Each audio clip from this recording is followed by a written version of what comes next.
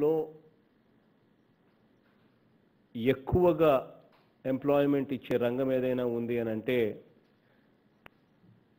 జిల్లా స్థాయిలోనూ నియోజకవర్గ స్థాయిలోనూ ఏదైనా ఉంది అని అంటే ఇది ఎంఎస్ఎంఈ సెగ్మెంట్ ఇటువంటి ఎంఎస్ఎంఈ సెగ్మెంట్ను మనం కాపాడుకోలేకపోతే నిరుద్యోగం అన్నది విపరీతంగా పెరిగిపోయే పరిస్థితులు కనిపిస్తాయి అన్నది అందరికీ కూడా అర్థం కావాలి.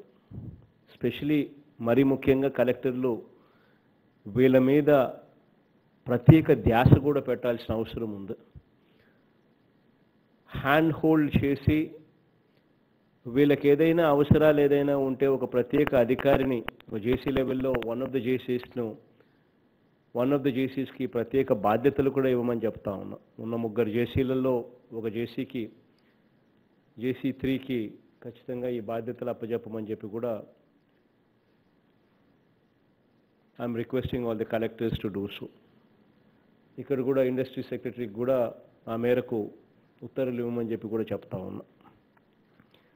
ఖచ్చితంగా ఈ ఎంఎస్ఎంఈ సెగ్మెంట్లను మనం ఈ ఎంటర్ప్రైజెస్ను మనం హ్యాండ్ హోల్డ్ చేసి వాళ్ళకున్న సమస్యలను పూర్తిగా మన సమస్యలుగా మనం భావించి వాళ్ళకు అన్ని రకాలుగా తోడుగా ఉంటే తప్ప ఇవి వాళ్ళ ఇవి బ్రతికే పరిస్థితి కూడా లేదు. కాబట్టి దయచేసి అందరి కలెక్టర్లు కూడా వీటి మీద వీటి మీద ప్రత్యేకమైన ధ్యాస శ్రద్ధ చూపమని చెప్పి కూడా కలెక్టర్లు అందరినీ రిక్వెస్ట్ చేస్తూ ఉన్నా. ఈ పరిశ్రమలకు సంబంధించి ఇక్కడ ఉన్న పరిస్థితులు ఏమిటి అని చెప్పి ఒకసారి గమనించినట్లయితే ఈ రంగం పూర్తిగా కుదేలైపోయిన పరిస్థితి మనందరికీ కూడా లాక్డౌన్లో ఇంకా ఎక్కువ కుదేలైన పరిస్థితి కనిపిస్తూ ఉంది.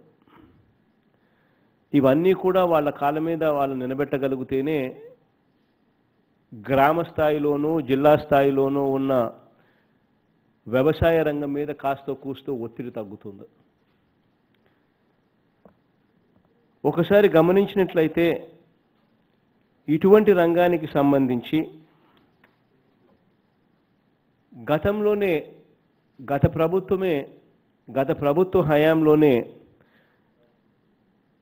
ఇండస్ట్రియల్ ఇన్సెంటివ్స్ కింద అంటే వీళ్ళని ఎంకరేజ్ చేసి వీళ్ళతో పరిశ్రమలు పెట్టించి వీళ్ళకు మనం పలాని రకంగా సహాయం చేస్తాము పెట్టుబడులలో మీకు ఇండస్ట్రియల్ ఇన్సెంటివ్స్ రూపంలో మీకు సహాయం చేస్తాము అని చెప్పి ఈ చిన్న చిన్న వాళ్ళందరితో పరిశ్రమలు పెట్టించి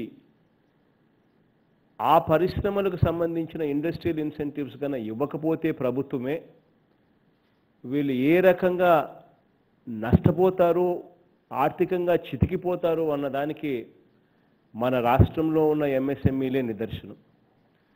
వీటిని మళ్ళీ వాళ్ళ కా వాళ్ళ కాళ్ళ మీద వాళ్ళు నిలబడేట్టుగా చెయ్యాలి అన్న ఆరాటంతో వీళ్ళ బాగోగుల గురించి ఆలోచన చేసి ఆర్థిక పరిస్థితులు రాష్ట్రానికి సంబంధించిన ఆర్థిక పరిస్థితులు బాగోలేకపోయినా కూడా కోవిడ్ సమయంలో ఇంకా అన్యాయమైన ఆర్థిక పరిస్థితుల్లో రాష్ట్రం ఉన్నా కూడా మాకున్న సమస్యల కన్నా మీకున్న సమస్యలు ఇంకా ఎక్కువగా ఉన్నాయి అని భావించి అన్ని రకాలుగా మీకు తోడుగా ఉండే కార్యక్రమం చేయడానికి ముందడుగులు వేశాం. ఇదే ఎంఎస్ఎంఈలు ఎవరైతే